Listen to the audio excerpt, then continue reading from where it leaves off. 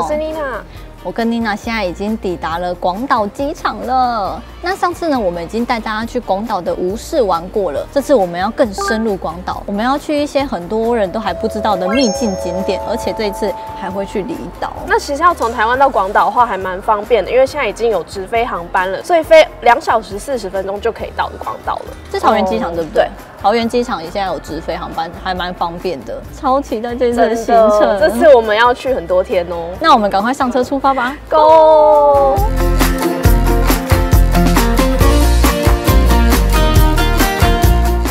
喜欢日本旅游、爱吃日本美食、想看观光列车与四季美景，快订阅我们！记得开小铃铛，接收所有通知，才不会错过新影片。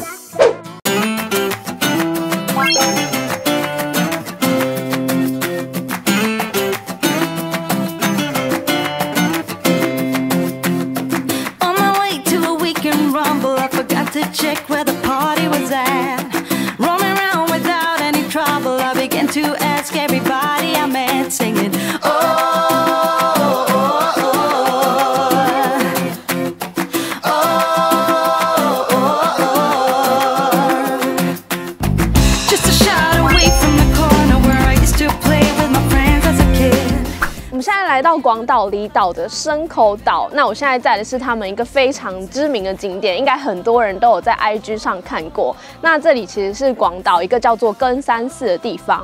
这个根山寺它除了是一个寺庙之外，其实它更可以说是一座岛屿美术馆，因为在寺内呢就有展了非常多各种不同的作品，像我现在在的这个就是其中一座叫做未来新之丘的地方。进来跟山寺之后呢，大概走个五到十分钟就可以来到这一个寺庙最高的地方，就是这一个未来新之丘。那这边的景色超级美，可以从岛屿的高处看到濑户内海的海景啊，还有坐落在海岸旁边的人家，这个景色很棒。如果配上蓝天的话，真的更美。这个未来新之丘呢，有五百平方公尺，这整个园区呢，其实都是用意大利进口的大理石一块一块建造起来的。它是由日本很知名的雕刻家韩谷一东设计出来的园区。这一个根山寺除了未来新之丘以外，其实你还可以走到它境内慢慢的参观。它境内还有很多不同的建筑物，其实都有被列入文化财哦。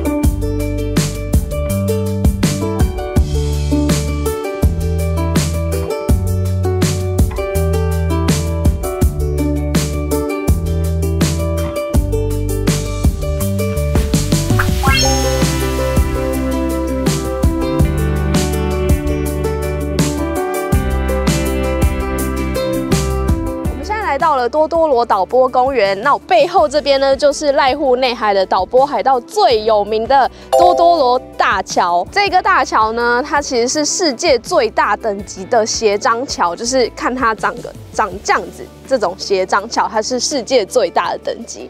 那这里同时也是自行车的圣地，像我们刚才就有遇到一个台湾游客特地来这边骑脚踏车，所以这边就还有一个。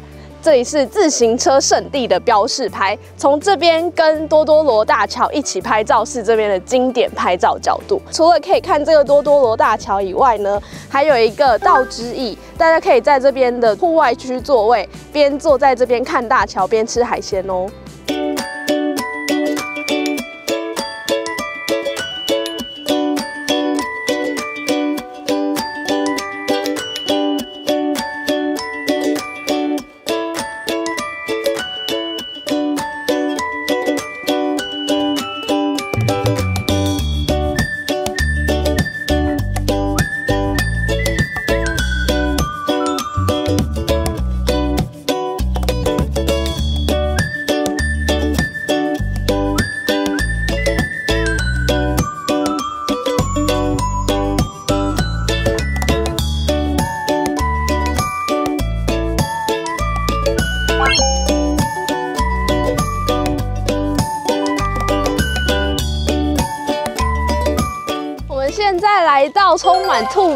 大久野岛了。你看我身边就有一二三四五六七八，超级多只兔子。这个大久野岛呢，其实它还蛮小的，大概只有四公里，所以可以徒步把它绕完。大久野岛上目前大概有七百多只野兔，所以你走在路上随随便便都可以看到很多只。那这些野兔的由来呢，有。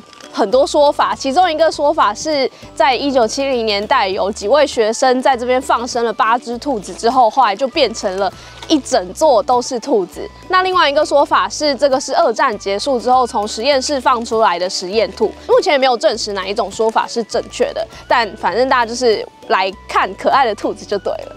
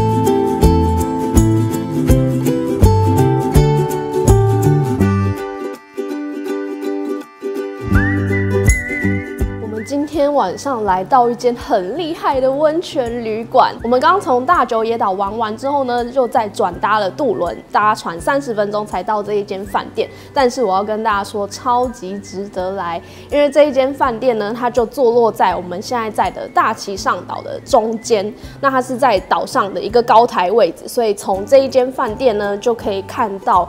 整个濑户内海的全景，你可以从饭店的窗户看到很多小岛坐落在窗边，像我们的房间就可以看到超级漂亮的景色。而且呢，他们的温泉浴场呢，也可以看到这样子的窗景哦。那我等一下吃完晚餐就要去泡汤喽。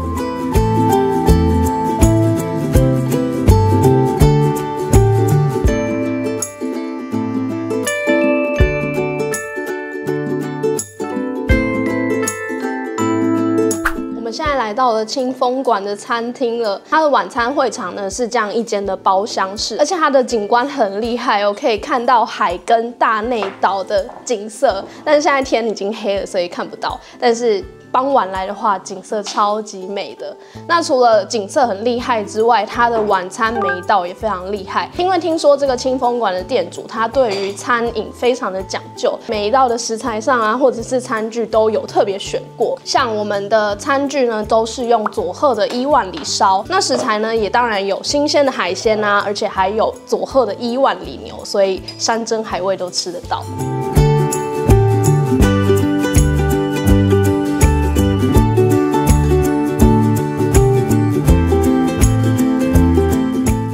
且这一间饭店的温泉还有获得日本的温泉总选举的绝景部门全国第五名，看起来真的超厉害。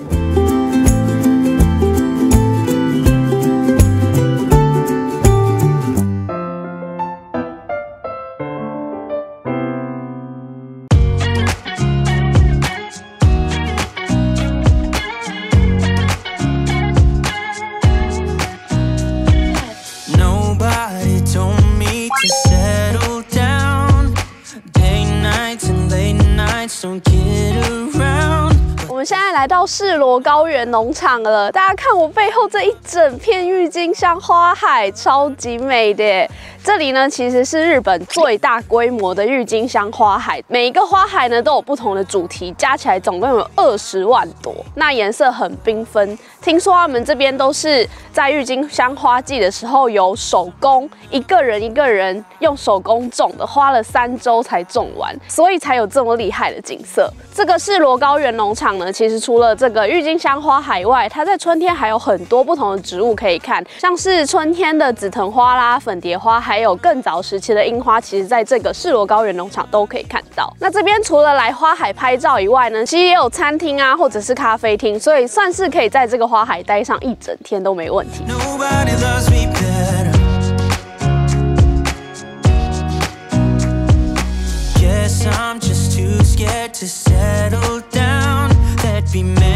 nights I got too high and almost left town. But there's something about you, something about you I like, about you I like. I get too drunk.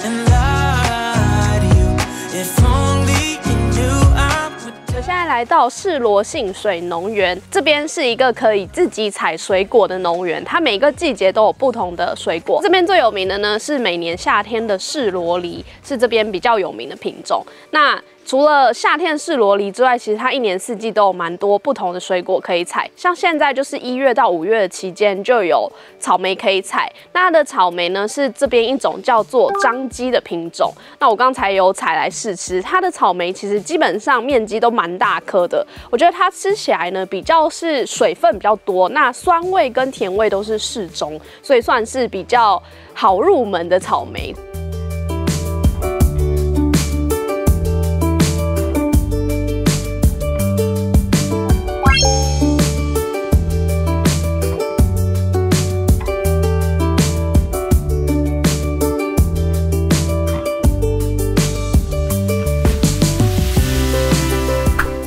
到一个超酷的寺庙，这里叫做神圣寺。它其实不只是一般的寺庙，它结合了寺庙跟博物馆的概念。像我背后的呢，就是它其中一栋非常有名的建筑，叫做光亭。这个光亭的外观看上去就很像一个幽浮，你必须要从入口走一段路，穿过森林，还要过一座桥，才可以抵达这个光亭。进去之后呢，就可以体验到有名设计师设计的一个视觉体验。那这边就不爆雷，大家可以自己来体验。我只能说，就是非常酷，很有禅意的感觉，所以蛮推荐大家可以来神圣寺的话，一定要来这一个光庭体验。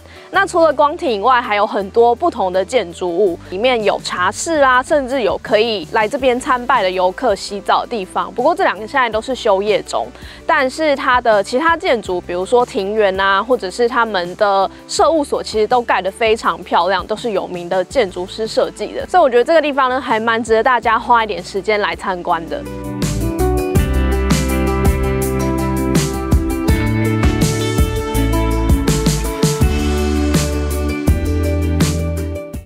订阅我们的频道，开启小铃铛，就能接受最新的日本旅游影片通知哦。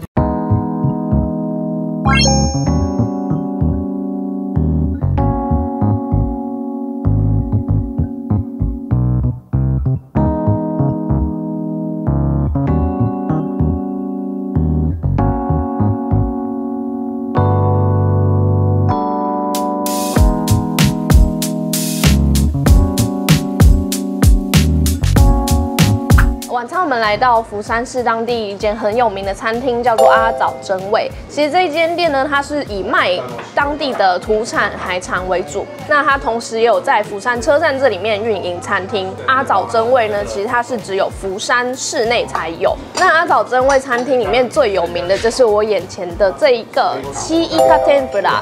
它这个七咖呢，指的是小小的花枝，那把它炸成天妇罗，是这边的必点美食。另外一个是关东煮，那它这个关东煮跟我们大家想象的日本关东煮比较不一样，它是用牛跟猪的胃脏去长时间煮做出来的当地的灵魂美食，所以这两个是你如果有来阿早真味吃的话必点的。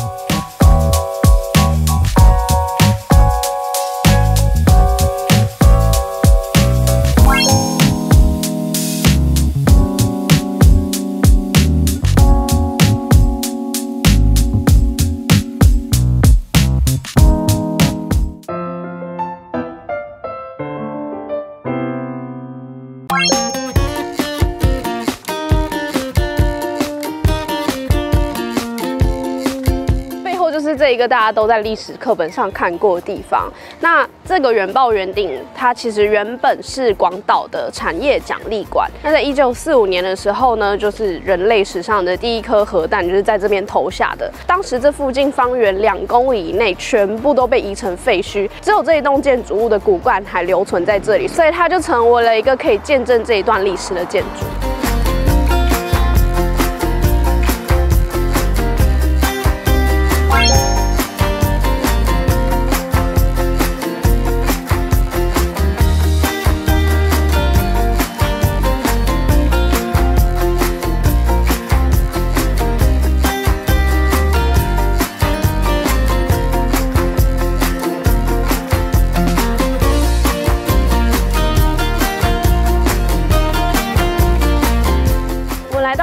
市区的广岛纸鹤塔了。那这边呢是二零一六年建成的一个景点。这个广岛纸鹤塔会建成的原因呢，跟广岛的历史非常的有关。因为纸鹤呢在日本有和平的意思，所以这个广岛纸鹤塔呢就是为了要纪念广岛原爆的这一段历史建成的。那我们现在在的是广岛纸鹤塔的十三楼这边，它的十三楼呢做成了一个开放的空间，所以可以看到很清楚的广岛的市区景色。那它下楼的方式也很特别哦，下楼方式呢，你可以选择走他们的回旋坡，慢慢边看着景色慢慢下楼，或者是搭溜滑梯下楼都可以哦。那在十二楼呢，有一个可以体验折纸鹤的广场，在这边付费折完纸鹤之后呢，就可以放在广岛纸鹤塔里面。那这个纸鹤塔呢，其实你可以从外面看到大家从世界各地的人堆积起来折的纸鹤哦。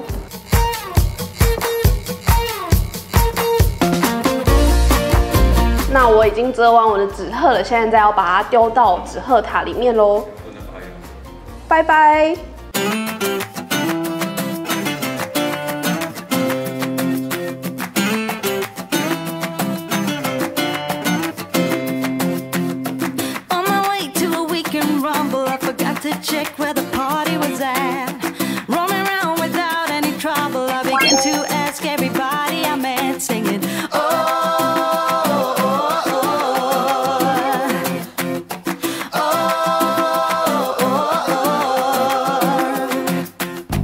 Just a shot away from the corner where I used to play with my friends as a kid.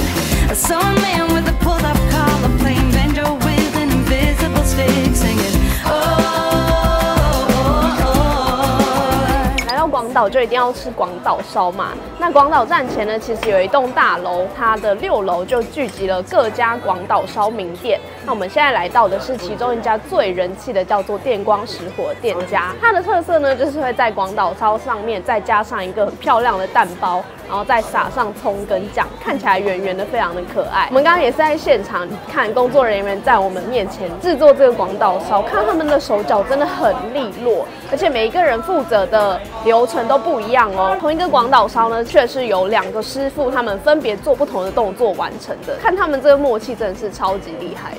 那我现在要试吃了。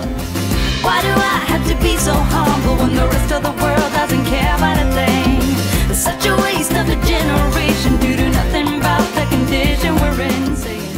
咬下去啊，发现它的口感层次很丰厚，它里面的馅料很多层，最外层呢就是他们招牌的蛋包，再下来是炒面，然后是蔬菜，有豆芽啦、高丽菜，那最下面一层还是炒面，所以整个就有点像在吃炒面的汉堡。那炒面因为它是一条一条的嘛，所以整个嚼劲就很足够，再加上他们酱就非常的完美。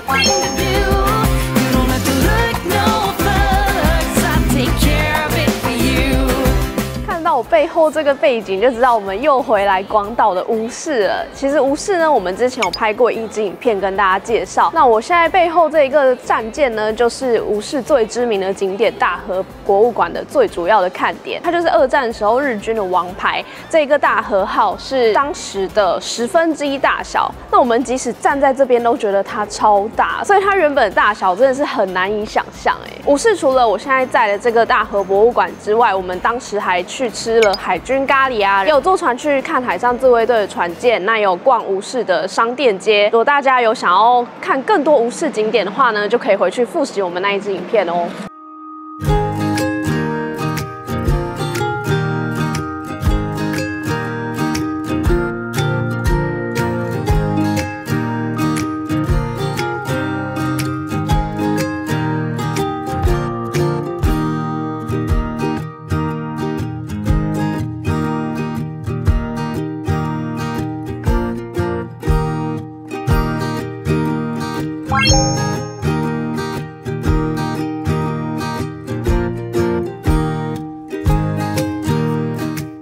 回到广岛机场这边了。那其实广岛机场除了广岛机场饭店呢，它附近呢还有这样子的包栋式庄园也可以住哦。我们现在在的就是一个叫做森林小丘庭园的包栋式住宿。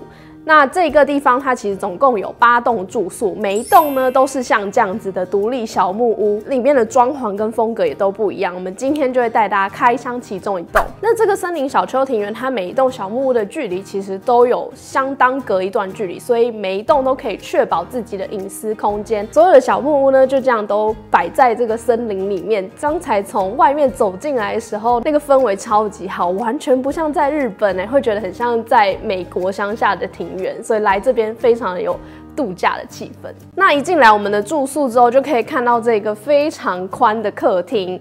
那客厅后面就是用餐的餐桌，这边弄得真的很像那种。外国人住的温暖的家，这除了有个超级大的餐桌之外呢，这边还有一个壁炉。虽然它没有真的用那个柴火来烤啦，可是这边就有一个电暖炉。这边打开来呢，还有一个很大的阳台，哎，哇，超美耶！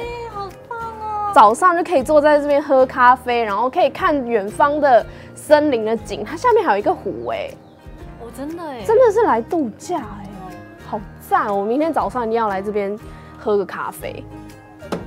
那除了这个他们的客厅之外，再带大家看他们其他房间。走进来这边呢是他们的卫浴，那这边其实它的设施很完善哦，除了就是应有尽有的卫浴空间之外，还有洗衣机，所以你是长期住宿的话呢，或者是一次有很多个人的衣服要洗的话，就可以用这边。就我觉得它的这个浴室超级酷的，好像就是那个太空舱，真的哎，对啊，哇，晚上在这边洗澡，现在又来到了它其中一间房间，这边就有两张单人床可以用，所以就是如果是跟朋友一起来的话呢，就可以这样子睡。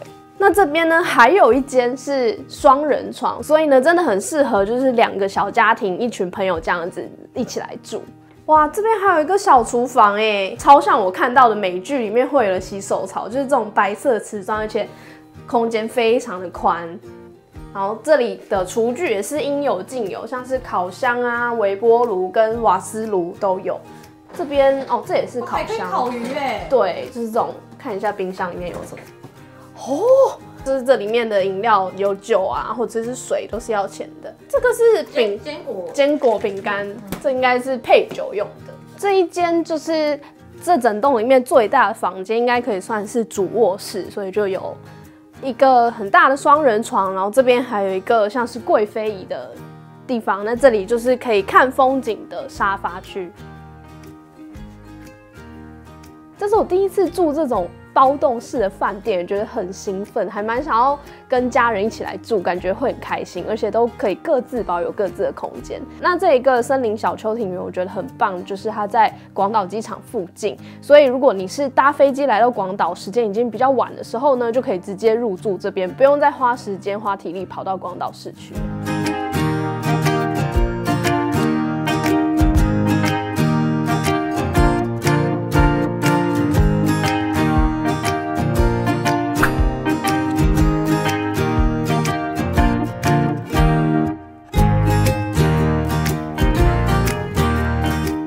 住的小木屋旁边呢，还有这样的一个小凉亭，到晚上就可以在这边烤肉。其实它器具都帮你准备好，你可以直接租借。那我们只要负责买食材就好。我们今天就特地去机场旁边一间很有名的肉铺买了宫崎牛来烤。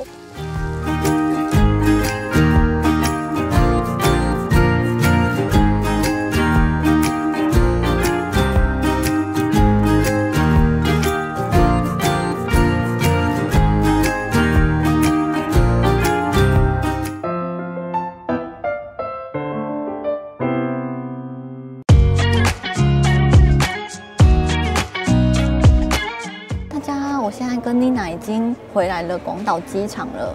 那这一次五天四夜的行程，我们去了非常多的地方。你最喜欢哪一个？哇，我们这次真的是跑遍整个广岛，然后去了很多地方。硬要说的话，最喜欢的会是深口岛上的未来星之丘。啊，大理石做的那一个。对，因为它其实外观它就是一个寺庙，所以你不会想到一进去会有风格这么不一样的景观，而且从上面看上去的视野非常的好，可以看到就是濑户内海的岛屿的风景。就觉得超棒的，而且它里面还有另外一个景点叫做千佛洞，我也非常喜欢。我们一开始走进去的时候，以为它只是介绍一个佛教故事的小景点，没有想到真的是别有洞天，就越走越精彩。对，所以我们在里面绕了很久。推荐大家千佛洞这个景点千万不可以漏掉。对，那你觉得这几天下来最喜欢在哪里？我的话还是喜欢最经典的行程，哦就是那个大久野岛。